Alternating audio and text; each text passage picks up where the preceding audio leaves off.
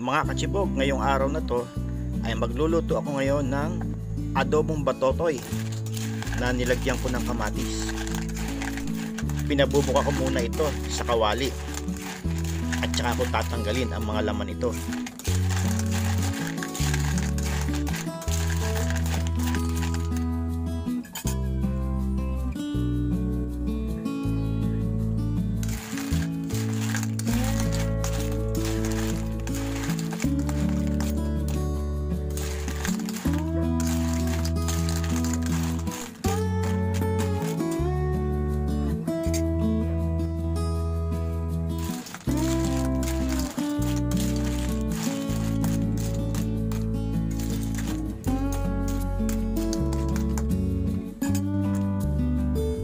Matapos kong pabukahin ay tatanggalin ko naman ang mga laman nito.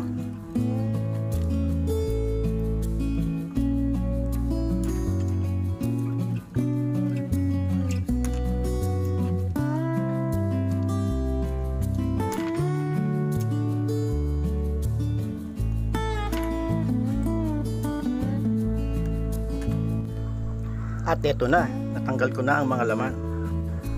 At ito naman ang mga sangkap.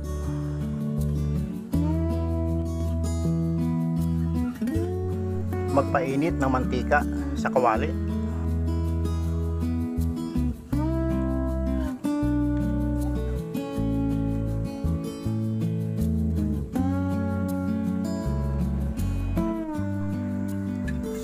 At igisa ang bawang.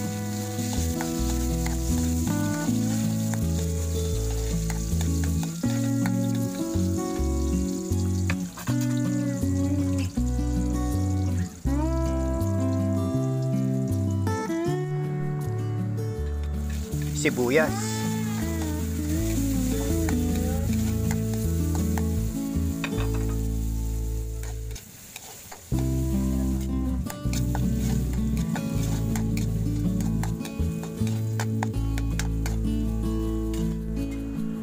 At kamatis.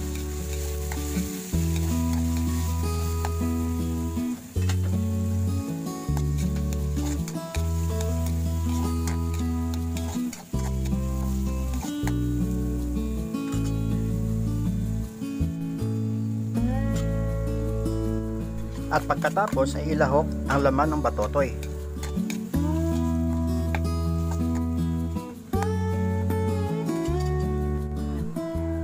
Lagyan ng paminta.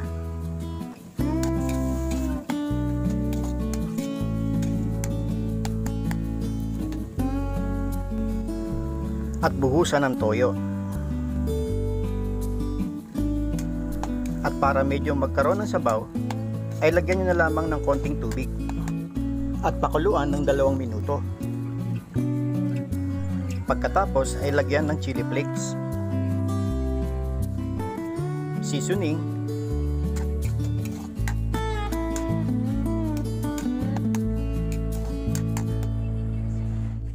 at ilagay ang kalahati ng dahon ng sibuyas.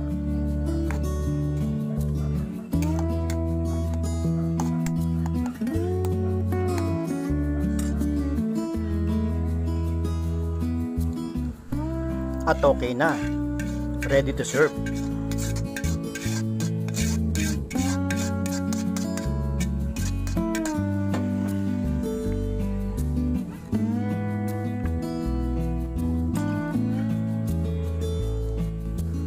At ilagay ang natitirang dahon ng sibuyas bilang topping.